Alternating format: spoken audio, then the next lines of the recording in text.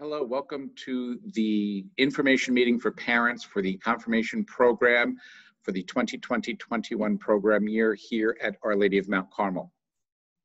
I'd like to share with you the uh, different components of the program first, especially for those parents who this is either your oldest or only child going into the confirmation program. Then following that, I'll share with you how the program is going to look different this year than it has in past years, and then talk about the online registration form. I'm going to do this through a PowerPoint presentation and then also going to the online form. So I'm going to share with you now the PowerPoint. We'll start there. So just give me a minute to get that going here.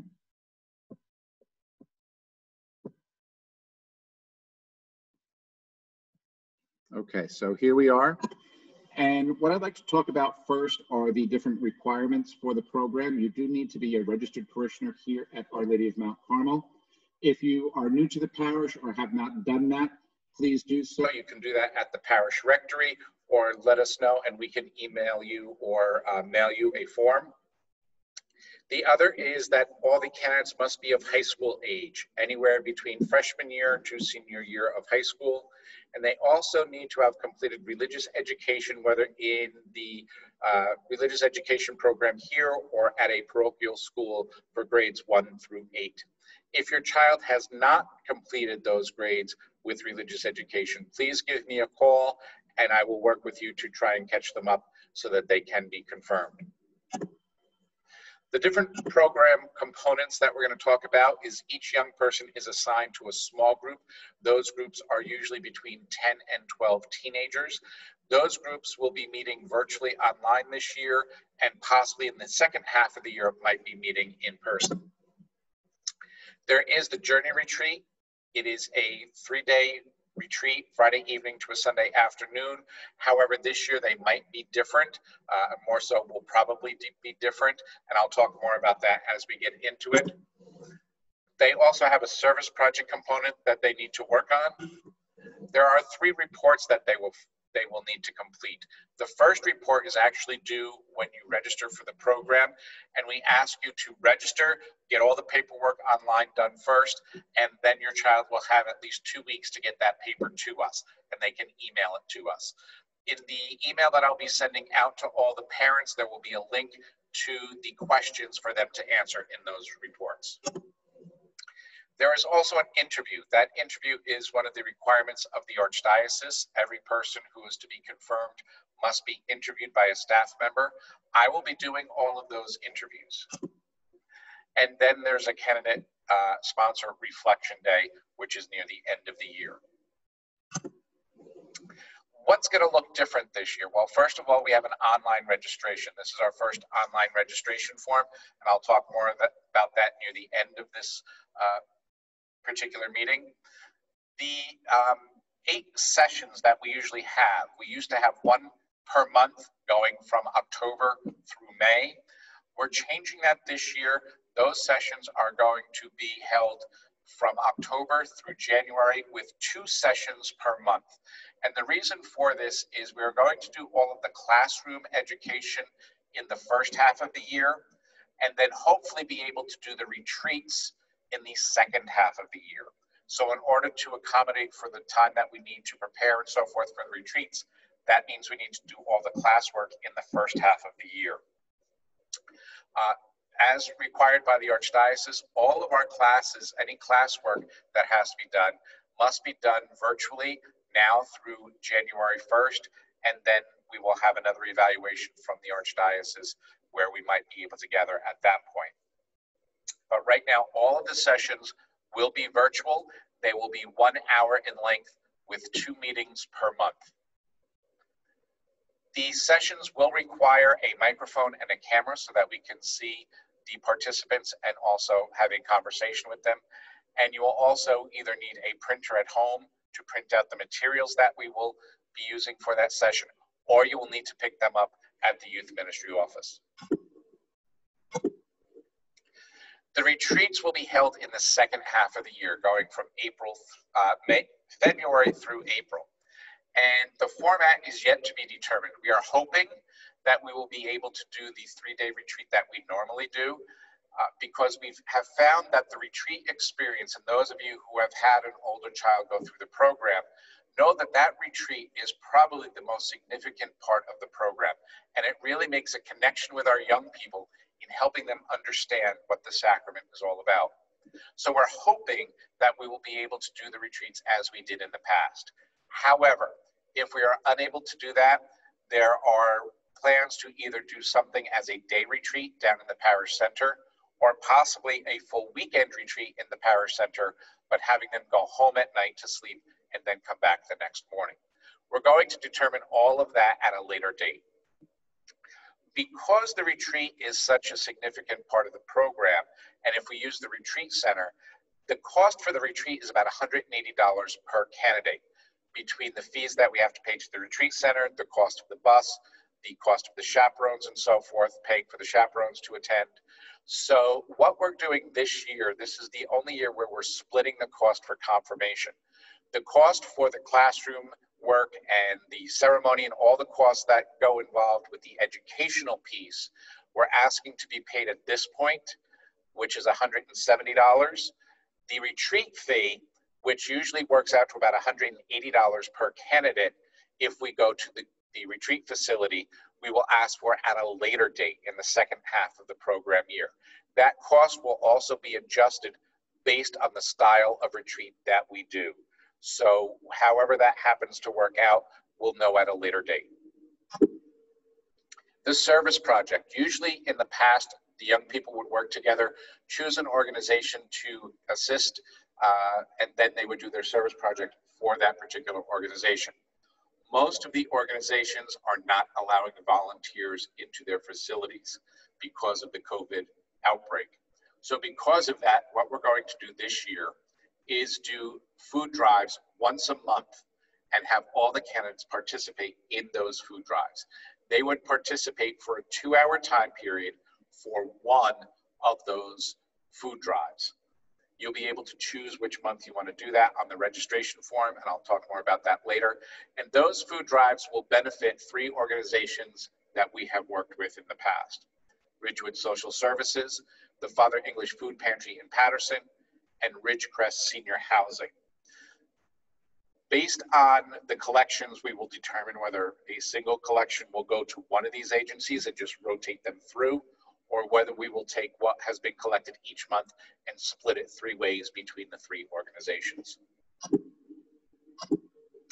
The reports, they can be emailed to me once they are done. The first report is actually due upon registration. And as I said, within two weeks of registering for the program, we ask your child to email that to me. And more information on those reports will occur in the email that I'll be sending out uh, with the link to the registration form and the other two reports that are due are not due until the second half of the year. The interviews are usually in person. However, this past year I was able to do some in person before the outbreak, but then when we closed down, all of the other interviews were conducted on the phone. So depending on where we are uh, in the latter half of the year, those reports usually take place late May, early March through mid-April depending on what's happening at that time, will determine whether they're in person or via phone. The Candidate Sponsor Day also is usually in April. We're hoping that by that April of 2021, we will be able to do that in person, but if not, we do have a virtual format, which we actually used this past year. If you're new to the program, uh, or if you are an, an Academy of Our Lady student, or coming from another parochial school. I probably do not have a copy of your baptismal certificate on file. If you are not sure whether you gave us a copy of your baptismal certificate, I will need one of those for the confirmation process. You can take, take a photo of that and email it to me, scan it. Uh, we don't necessarily need it, the official paper copy. So if it's easier for you, you can send that to us electronically. What I'm going to do next is stop sharing here and then move over to the online form to share with you.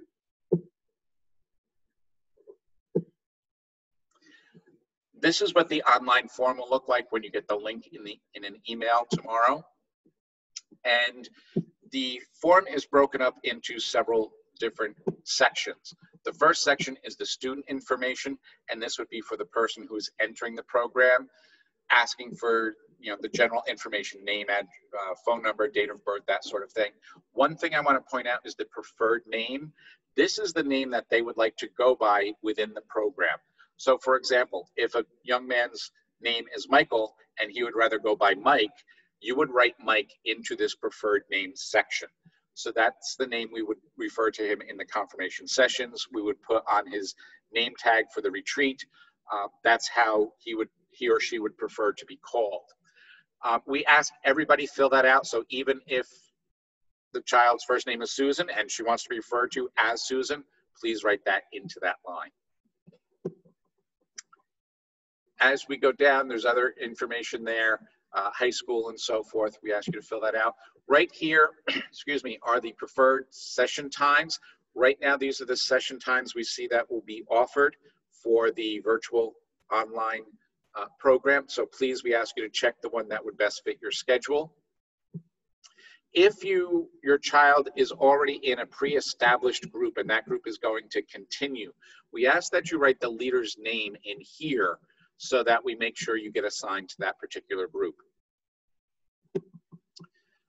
The service project, which I mentioned here, all the dates for those service projects split into two hour time periods, 8.30 to 10.30 or 10.30 to 12.30. You can choose which time slot you would like and the date. These are limited to 12 candidates per session, and they are on a first come, first serve basis. If your child has any food allergies or food or dietary needs, we ask you to fill those out here. If you happen to select no, you just move on to the next question. If you select yes, it's going to open up a box for you to enter that information. The food allergies is extremely important for the retreats, for the meals on the retreats and so forth, as well as the dietary needs. For example, does your child require a gluten-free meal plan um, are they a vegan, those sorts of things. So please enter that, that information for us. I'm going to go back one minute. Um, actually, no, we're, we're still good here. Um, any physical or learning disabilities, please let us know about those as well. Here is a form that you're going to need to fill out. This is the permission form and the health form, so that in case your child does get injured, this gives us the authority, if we cannot reach you, to seek medical attention you would click on that form, open the form, and what it's going to do is bring up that form so that you can then fill it out. And uh, you would need to enable the editing, fill out the form. You can then um, save it to your computer, come back here, browse your files, upload the form, and it will load right in. If you have a second child, you have a set of twins or an older sibling is going to be joining the program as well.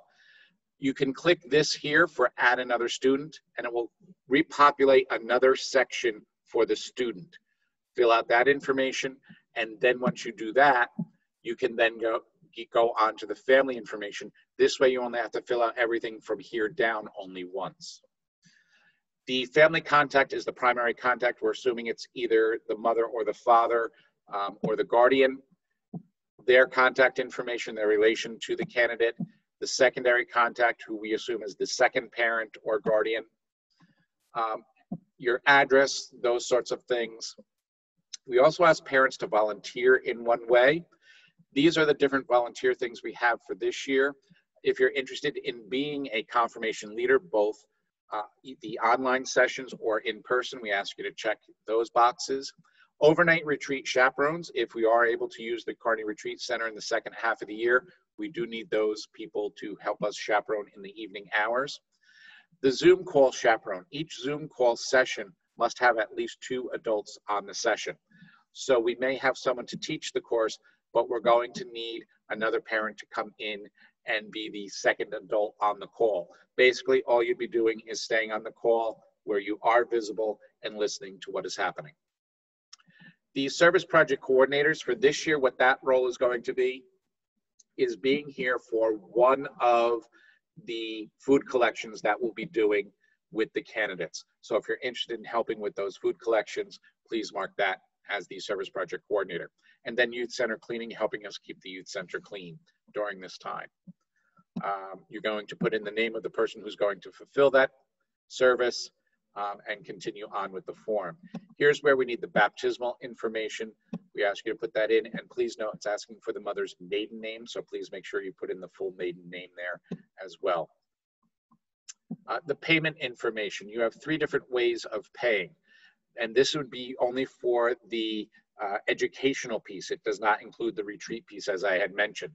If you're ready to pay, you can just hit confirmation fee. It will, you can then pay by credit card for it as you register. You're going to put in your, comfort, your credit card information later on. If right now you don't want to pay the fee or you prefer to pay by check, please check off the pay fee of 170 later by check. I also know that there are some parents who would prefer paying later, especially those who are teachers and may want to wait until they have had uh, a paycheck come in in the fall months. You can check this off and then pay at a later date. There are also some families we know that are going through a financial hardship at this time, whether it be due to loss of employment or whatever else is happening. If that's the case, know that no child is going to be denied entry into the religious education programs due to uh, a, a fee.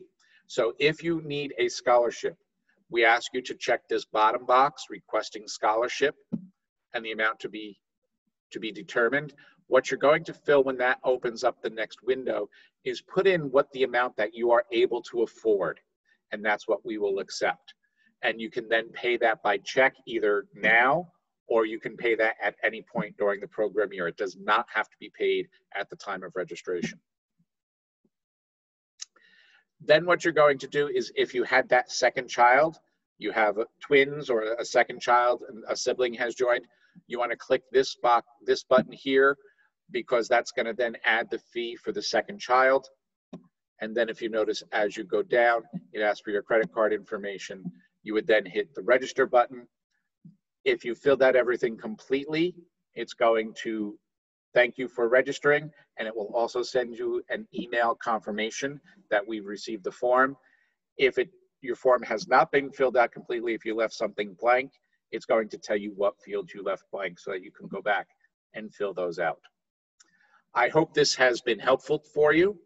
Um, if you have any questions, please feel free to give me a call here or email me at the Youth Ministry Office. And we are looking forward to having you involved this year in the confirmation program. Have a great night. Bye bye now.